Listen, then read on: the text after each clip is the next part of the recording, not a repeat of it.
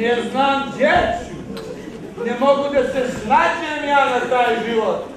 Ja odim u prodavnicu, ja velim, daj mi jednu kilu naranđi. Hoćete u kesu?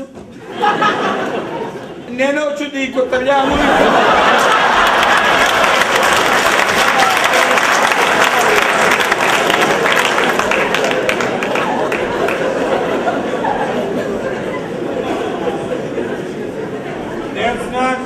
Ću. I sad kako ja ono izađem, pet, šest momaka. Ovako, nisu baš kajali. Ali jesu razvijeni. Veli meni jedan crnogorac. E, mogu nešto te pitam, možeš mi se primaknuo? je videl meni, znaš ti kako cel Crnogora si lazi iz drveta? E, ja ga gledam, a kako? Veli, še denalis pa čeka jesen.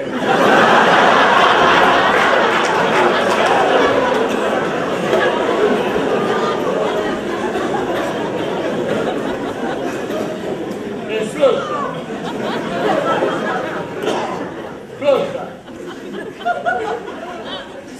sam ga pogledao.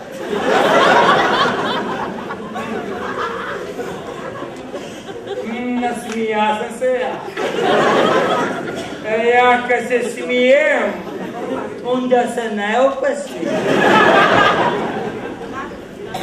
E sad da vam pošteno kažem, ne znam jesam li se pobio ili nije. Jedino da vas lažem.